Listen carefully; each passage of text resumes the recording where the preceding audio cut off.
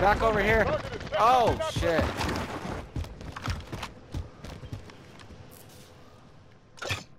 Where is he?